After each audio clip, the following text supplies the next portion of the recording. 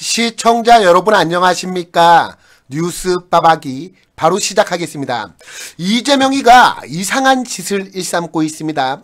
김혜경이의 법인카드 유용 의혹과 관련되어서 참고인 신분으로 조사를 받은 뒤 숨진 채 발견이 된 김모 씨와 관련되어서는 침묵을 지킨 채 주랭랑을 치더니 난데없이 저학력, 저소득층이 국민의힘을 지지한다는 역대급 망언을 쏟아낸 겁니다. 특히 숨진 김 씨의 경우 십수년간 이재명의 최측근이자 김혜경 법카 유용 의혹의 핵심 인물이었던 수행비서 역할을 해왔던 전 5급 사무관 이 배 씨와 사실혼 관계 의혹이 불거진 인물입니다. 상식적으로 이재명 일가와 이 배 씨의 관계를 생각해보면 이재명도 이 김 씨를 알고 있었을 가능성이 높은데 이재명은 김 씨의 사망 소식이 전해진 그날 자신의 지지자들에게 고맙잖아 뭐 요따위 댓글을 남기고 있었습니다. 가뜩이나 이재명의 의혹과 관련되어서 벌써 사람이 여러 죽어나갔는데 정치인으로서 책임 있는 자세와 입장을 표해야 하지 않나 그런 생각이 드는데 이런 와중에 국민의힘 지지자들에 대해서 황당한 망언이나 일삼고 있으니 이재명 저거 과연 제정신인가 싶은 생각까지 듭니다. 오늘은 이와 관련된 소식 빠르게 전하겠습니다.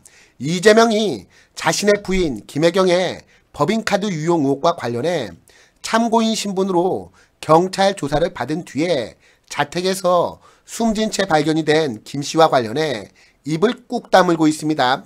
이재명이는 29일 국회에서 열린 민주당 당대표 및 최고위원 후보자 공명선거 실천 협약식이 끝난 뒤에 사망한 김 씨와 관련해 견해를 밝혀달라는 요구에 아무런 말도 하지 않았습니다. 취재진은 김 씨가 경기도 산하 공공기관의 비상임 이사였다는데 알고 있었나? 김 씨가 사망한 데 따른 견해가 없나? 법인카드를 바꿔치기 한 사람이 김 씨라고 하는데 한마디 해달라 등의 질문이 쏟아졌지만 이재명이는 침묵을 지킨 채 현장을 재빨리 떠났습니다. 지난 28일 경기 남부경찰청 등에 따르면 김 씨는 26일 경기도 수원시 소재 한 빌라에서 숨진 채 발견이 되었는데 이 빌라의 소유주가 김혜경이를 수행하던 전 경기도 총무과 별정직 5급 이 배 씨였으며 김 씨는 이 배 씨의 동거인으로 알려졌습니다.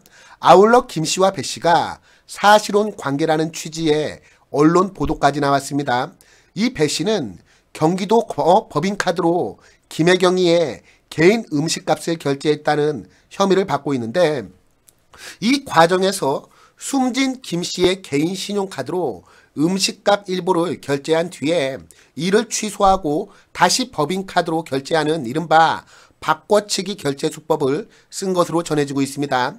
이재명이는 김 씨의 사망 사실이 처음 보도가 된 27일에도 별다른 견해를 밝히지 않았습니다. 오히려 이재명은 이 김 씨의 사망 소식 기사가 보도가 되고 자정을 넘긴 시각 트위터를 통해서 자신의 팬덤인 개딸들과 소통을 했습니다.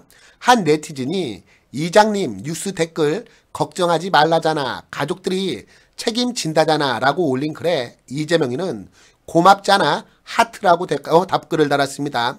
또 다른 지지자가 언론들의 의도가 보이는 날조 기사들 너무 많이 나와서 화나는데 다들 열심히 정화하고 있어요. 좋은 것만 보게 해드리고 싶어요. 혜경 언니도 걱정되고 잼 파파가 보고 상처받으실까 다들 걱정하는 밤이에요. 사랑해요. 아니 사랑해요. 이렇게 쓴 글을 자신의 팔로워들에게 리트윗하기도 했습니다. 이 또 이재명은 한 지지자가 계속 댓글 정화를 하겠다고 하자 기울어진 운동장에서 이기려면 동지들의 힘과 실천이 필요하다고 호응하기도 했습니다.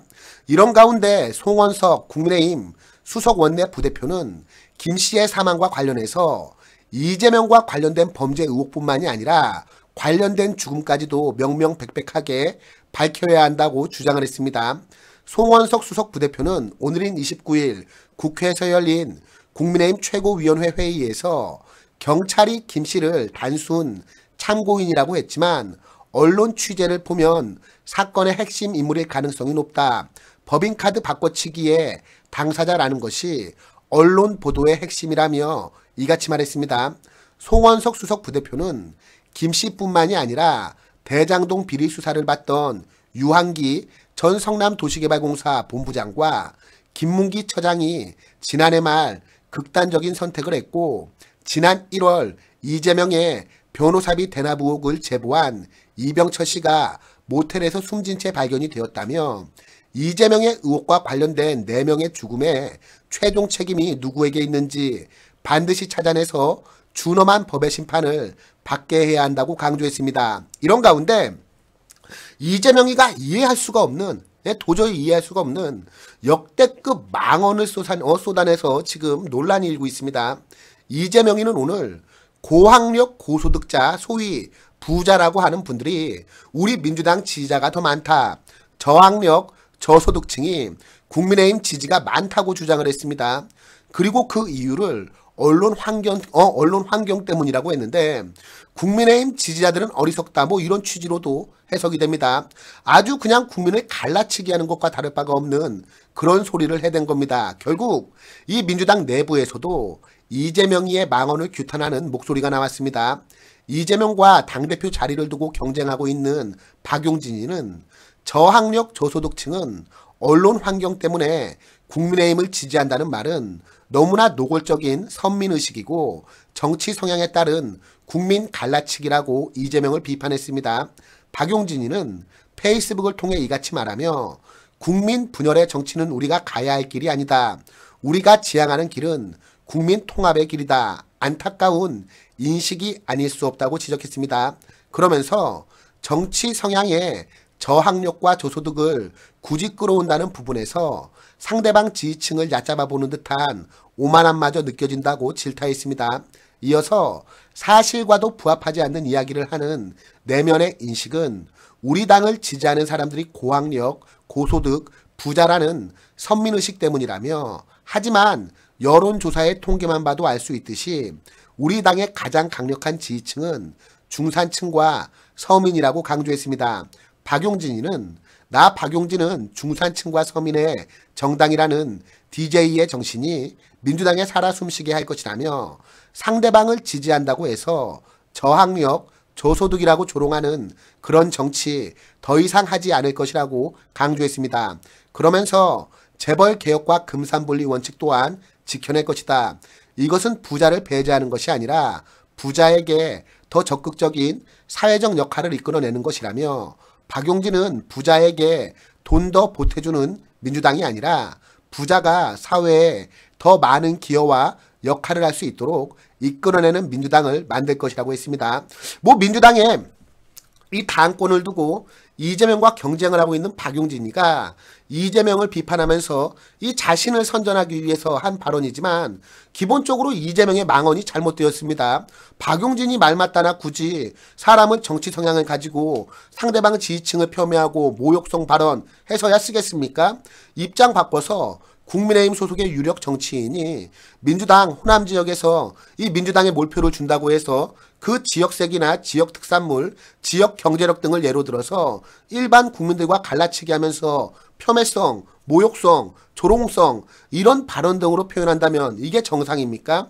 당연히 비판받아 마땅한 겁니다. 정치인으로서 기본적으로 하지 말아야 할 짓을 지금 이재명이가 태연히 해대고 있는 것인데 제가 봤을 때는 지금 뭐 거의 제정신이 아닌 것 같기도 합니다. 요 따위 쓰잘데기 없는 소리 하면서 우리 국민들 혈압 오르게 하지 말고 자신과 자신의 가족을 둘러싼 의혹 사건에서 벌써 네 번째 사망자가 나온 데 대한 입장이나 밝히기 바랍니다. 그게 바로 국민적 의혹에 맞닥뜨린 정치인이 해야 될 국민에 대한 예의이고 도리입니다. 그러니까 허튼 소리 해대지 말고 김혜경의 법인카드 유용과 관련된 배 씨의 동거인 김 씨의 의문스러운 죽음에 대한 입장 표명이나 빨리 하기 바랍니다. 그럼 오늘 뉴스 빠박이는 이쯤에서 마치도록 하겠습니다. 함께 해 주신 시청자 여러분 모두 감사합니다.